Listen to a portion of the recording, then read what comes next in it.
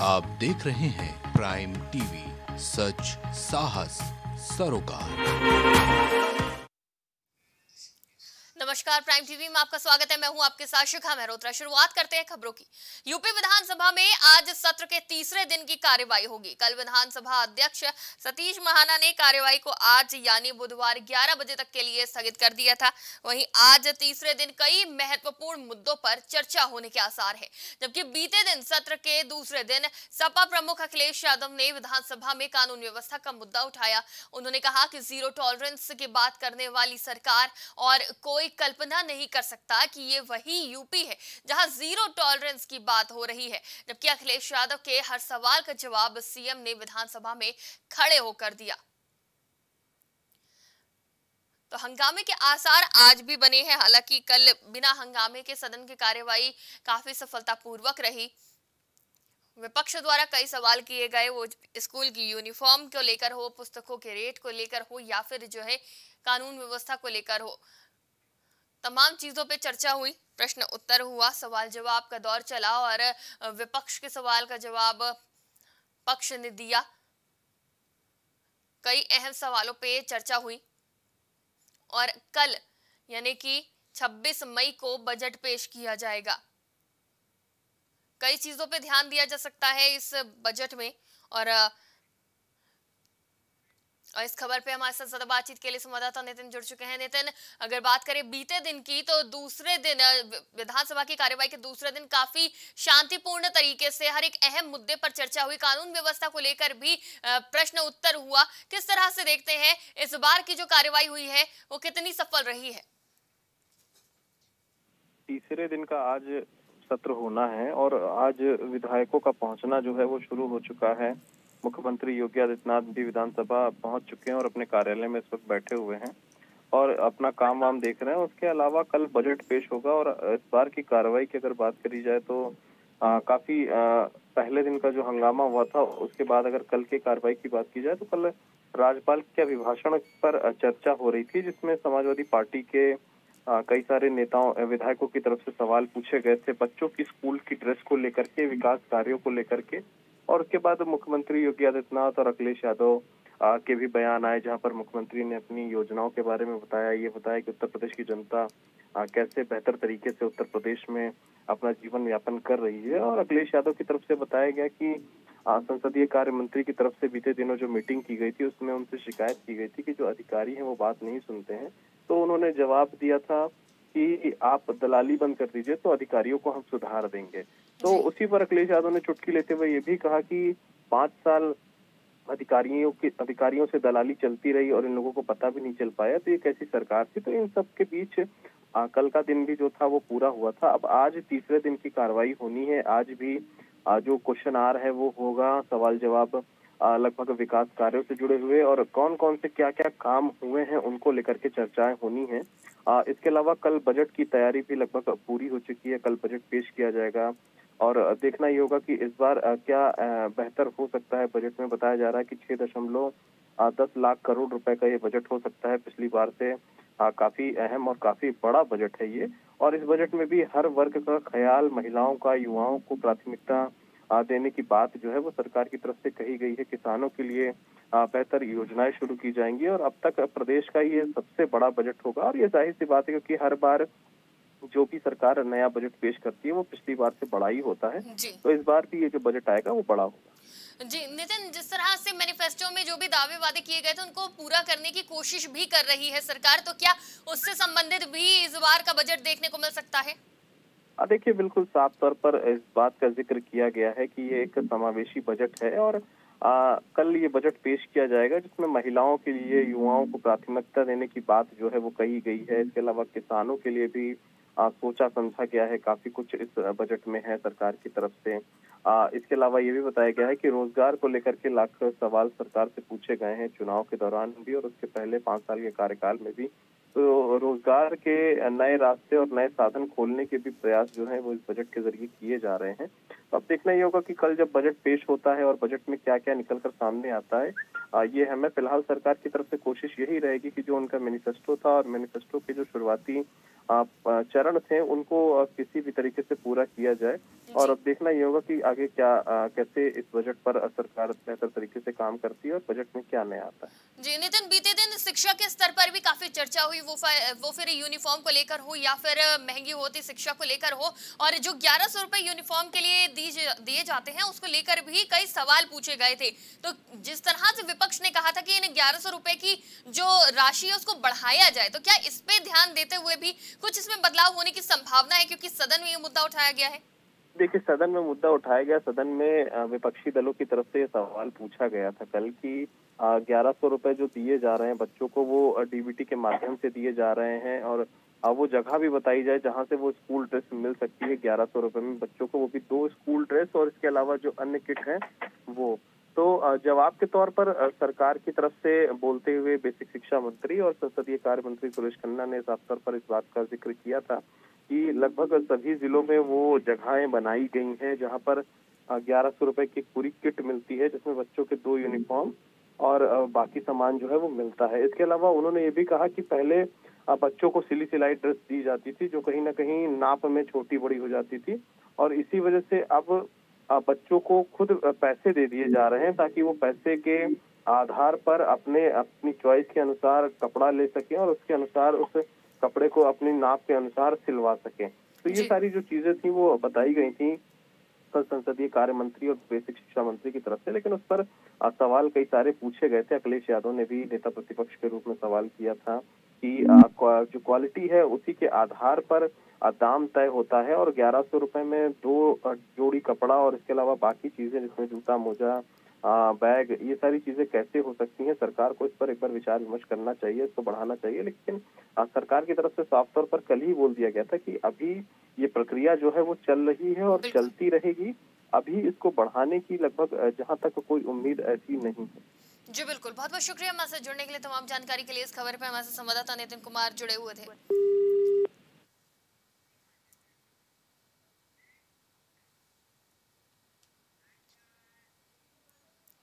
रुक करते हैं अगली खबर की तरफ़। शासन की योजनाएँ, धरातल पर किस तरह कार्य कर रही हैं, इसका नज़ारा रायबरेली की ग्राम पंचायत शिवली में देखने को मिला है, जहाँ मनीष सैनी का परिवार बीते आठ साल से दूसरे की दीवार के सहारे, तिरपाल के सहारे गुजर बसर करने को मजबूर है। उन्हें बताया कि वो आवास के लिए पिछले सात सालों से दौड़ रहे हैं, लेकिन उनकी समस्या सुनने वाला कोई नहीं है। वही इस मामले पर जब खंड विकास अधिकारी मलिक मसूद अख्तर से बात की गई तो उनका कहना था कि मामला संज्ञान में नहीं था, लेकिन अब जाँच करा ली जाएगी और आखिर उनको अभी तक आवास क्यों नहीं मिला है? और अगर आवास सूची में उनका नाम मौजूद है तो उन्हें उनका आवास दिलाया जाएगा।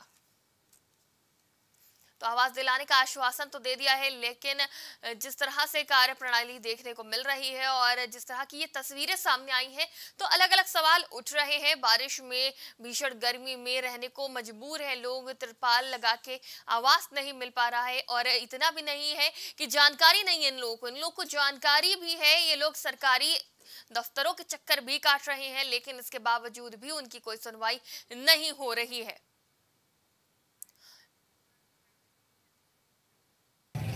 मेरा नाम रघुनाथ सैनी है, सर। मैं मालिन के पूर्वा में रहता हूँ। समस्या सबसे ज़्यादा घर की हमें हमें पड़ रही है। करीब आठ दस साल से हम ऐसे ही पंडितान के दूसरे की दीवार के सहारे रह रहे हैं। आंधी बारिश में अपने बच्चों को बचाना पड़ता है। पल्ली फट गई, महीने, दो महीने में हर बार पल्ली फट जाती है। अब इतने पैसे हमारे पास है नहीं कि हम जो है टीन वीन की या दीवार, छत वत की व्यवस्था कर पाएँ। आमदनी भी हमारे पास नहीं है। उसके लिए आवेदन किया था सर, वो ब्लाक भी गए दो तीन बार प्रधान जी से भी कहे हैं। सर तो तस्वीरों में देखा जा सकता है किस तरह से पन्नियों से त्रिपाल से रहने के लिए छत बनाई है अपने लिए। बाथरूम को योजनाओं का लाभ नहीं मिल रहा है। इस बात से परेशान है। कई बार शिकायत भी की गई है, लेकिन इसका कोई समाधान नहीं हो पा रहा है। तस्वीरों में देख सकते हैं आप कि गरीब परिवार है जो कि एक छत के लिए भी तरस रहा है। बीते आठ सालों से दूसरे की दीवार के सहारे तिरपाल लगा के गुजर बसर कर रहा है ये परिवार। सात सालों से दौड़ रहे हैं, लेकिन उनकी समस्या को कोई सुनने वाला नहीं है और जब इस मामले पर खंड विकास अधिकारी मलिक मसूद अख्तर से बात की गई तो उनका कहना है कि मामला संज्ञान में नहीं था, लेकिन अब जाँच कराई जाएगी। जब उनके संज्ञान में ये मामला आ गया है तो अब जाँच कराई जाएगी और जानकारी ली जाएगी कि आखिर पात्रों को आवास क्यों नहीं मिला? अगर इनका सूची में नाम था तो इन्हें आवास क्यों नहीं मिला है? तमाम चीज़ों की जाँच करी जाएगी और उसके बाद इन्हें आवास दिलाने की बात कही है। आश्वासन दिया गया है खंड विकास अधिकारी द्वारा। तस्वीरों में साफ़ तौर पर देखा जा सकता है। और पीड़ितों द्वारा ये बात भी बताई गई है कि धूप, गर्मी से, बारिश से, आंधी से लगातार उनकी समय समय पर पन्नी फट जाती है। उनके पास इतना भी पैसा नहीं है कि वो टीन डलवा सके, पन्नियों के सहारे, त्रिपाल के सहारे अपना गुजर बसर कर रहे हैं। दो छोटे बच्चे भी देखने को मिल रहे हैं और महिला किस तरह से चूल्हे पर खाना बनाती हुई नज़र आ रही है। काफ़ी गरीब और परेशान नज़र आ रहे हैं लोग। इसके बावजूद भी वो चक्कर काट रहे हैं सरकारी योजनाओं के लिए, लेकिन उनको योजना नहीं मिल पा रही है। सबसे बड़ा सवाल तो यही खड़ा होता है कि जो अपात्र हैं, उनको योजनाएँ मिल जाती हैं, लेकिन पात्रों को योजनाएँ नहीं मिल पाती, योजनाओं का लाभ नहीं मिल पाता है और हमेशा ही ये सवाल खड़े होते हैं। हालाँकि सरकार काफ़ी एक्शन मोड में नज़र आ रही है, लेकिन इसके बावजूद भी अगर इस तरह की लापरवाही कहीं देखने को मिलती है तो सवाल तो खड़े होते ही हैं।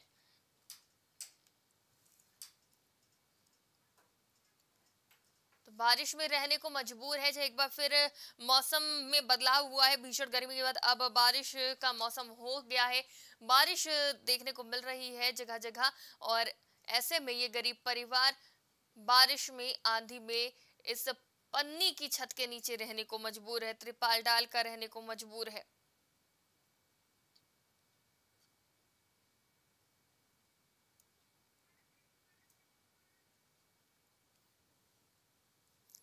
बारिश में रहने को ये गरीब परिवार मजबूर है और संवाददाता से जब हमने बात करी तो उनका भी यही कहना है कि ऐसे कई लोग हैं जिनको सरकारी योजनाओं का लाभ नहीं मिल पाता है, पात्र हैं, लेकिन इन तक योजनाएँ नहीं पहुँच पाती हैं। कहीं ना कहीं अधूरा रह गया है। पक्की छत का सपना, बारिश में आंधी तूफ़ान, धूप, गर्मी में रहने को मजबूर है। एक पन्नी की त्रिपाल की छत है। तस्वीरों में देख सकते हैं आप किस तरह से कच्चा मकान बना हुआ है। और ये एक झोपड़ी भी नहीं है, क्योंकि झोपड़ी में भी इससे ज़्यादा चीज़ें लगी होती हैं और यहाँ पे सिर्फ़ त्रिपाल लगा है बाँस के सहारे। पड़ोसियों की दीवार के सहारे इन्होंने त्रिपाल डालकर अपना गुजर बसर कर रहे हैं।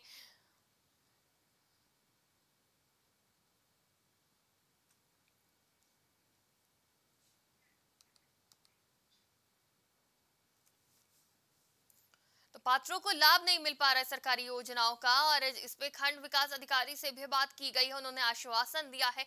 लेकिन सवाल ये उठता है कि जब सरकार कई योजनाएँ चला रही है तो आखिर इनका लाभ पात्रों तक क्यों नहीं पहुँच पाता, कैसे नहीं पहुँच पाता, आखिर वो कौन लोग हैं जिनकी वजह से पात्रों तक ये लाभ नहीं पहुँच पाते हैं? और ऐसे अधिकारियों के ऊपर क्या सख्त कार्यवाही होनी चाहिए या नहीं? इस खबर में हमारे संवाददाता अजय जुड़ चुके हैं रायबरेली से। अजय, ये पात्र काफ़ी परेशान नज़र आ रहे हैं। गरीब है, इनके पास रहने की जगह पक्की छत नहीं है। तो जिस तरह से ये दफ्तरों के चक्कर काट रहे सरकारी दफ्तरों के, अभी तक सुध क्यों नहीं ली गई? आखिर अधिकारी क्या कर रहे थे?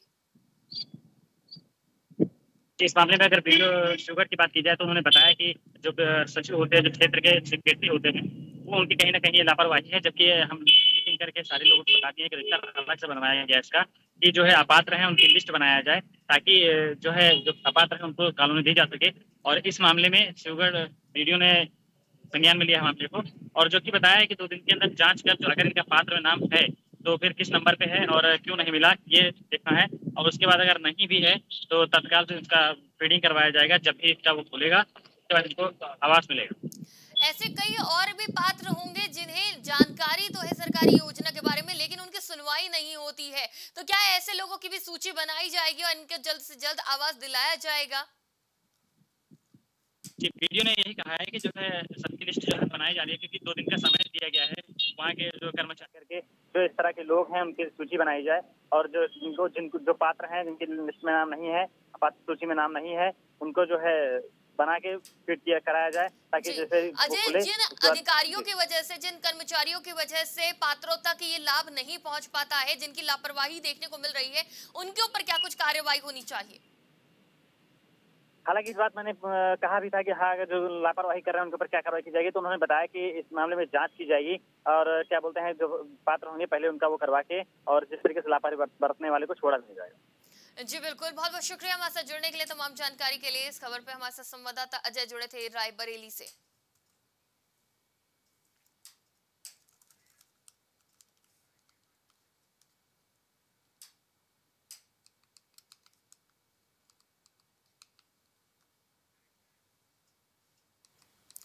दिल्ली में गाजियाबाद सीमा पर सटी शराब की दुकानों पर दी जा रही भारी छूट जल्द ही समाप्त होगी।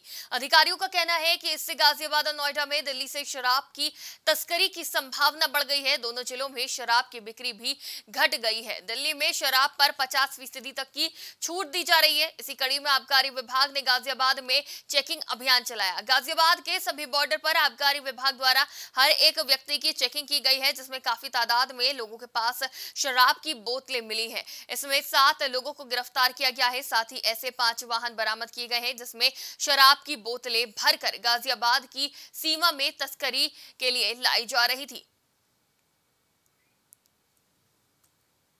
दिल्ली का कोर्ट जैसे दिल्ली में एक टी एल फ्री मिल रही है उससे हमारी दुकानदारी का आधा डिफेक्ट पड़ा जिससे शहर हमारी घट के आधी रह गई लगभग एक से सवा लाख के बीच अब कितने की? सत्तर पचहत्तर हज़ार की।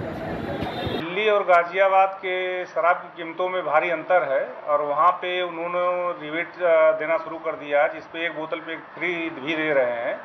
और वहाँ से तस्करी गाजियाबाद की तरफ़ हो रही है तो उस पर जो भी तस्करी शराब यहाँ आ रही है जो पकड़ा जा रहा है उसके खिलाफ एफआईआर हो रहा है उसकी गाड़ी भी जब्त की जा रही है उनको जेल भेजा